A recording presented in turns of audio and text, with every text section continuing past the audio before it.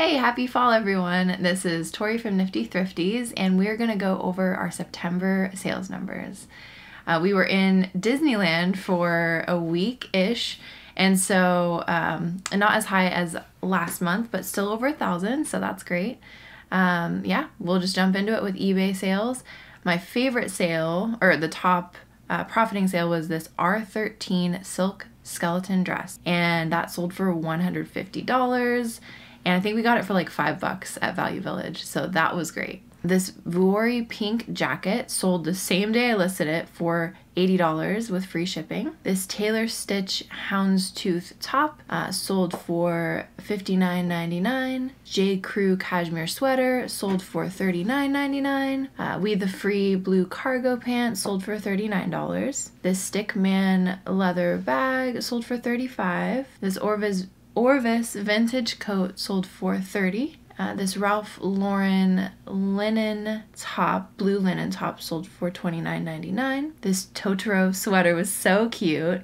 Uh, that sold for $29.99 on eBay and it was shipped to Germany. Uh, these Nike sweatpants, I was actually thinking about these for myself, but then we got them home and found out they were men's pants.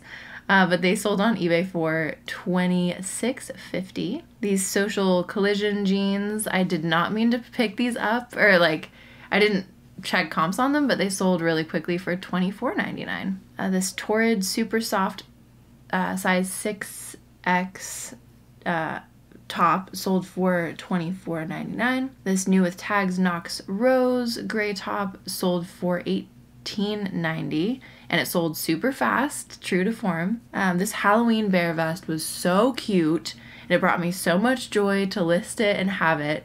Uh, it sold for $18 on eBay. Uh, this Ebbets Field flannels hat was like such a random, like we didn't know what it was. It says Y, I think it says YB on it.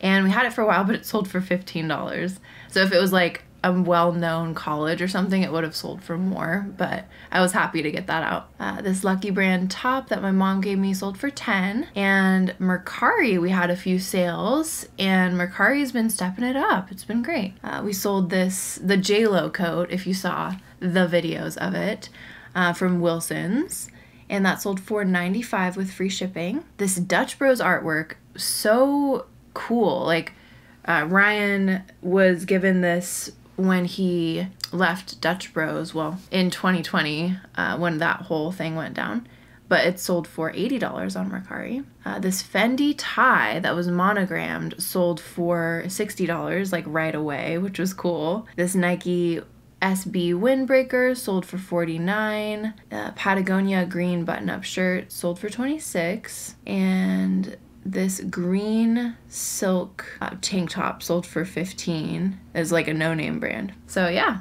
more sales than we usually have on Mercari. Moving on to Poshmark. Uh, these Vince combat boots sold for 65. This Hobo International wallet sold for 40. These Fabletics wide leg pants sold for 40 randomly. I think it was a full price sale and that surprised me. Uh, these Helly Hansen ski pants sold for 40. New with tag Nike black and red leggings sold for 35 with discounted shipping. Patagonia taupe shorts sold for 35. Eileen Fisher velvet distressed pants sold pretty quickly for 35 with discounted shipping. Uh, these Givenchy pants sold for 33 with discounted shipping. They have they had some flaws on them. Kate Spade gray brown bag sold for 30 and there was like a hole in it. Eileen Fisher blue linen top sold for 29 with discounted shipping. This Arc'teryx hood, I picked it up because if you ever find anything Arc'teryx, you should pick it up. It's a great brand and it sells for a lot really quickly. So even like picking up this hood, I was like, well, we'll see how it goes. And it actually did pretty well considering it was just a hood. It sold for $27. These cut from the cloth jeans sold for 25. Mondi camisole 25. Thread and Supply new with tags cardigan. I had this forever. It finally sold for 21. This Nike white jacket had a bunch of flaws on it. It's still sold for $20 with discounted shipping. These Universal Thread overalls sold pretty quickly for 18. Duluth Trading Company jeans sold for 18. Levi's black shorts sold for 17.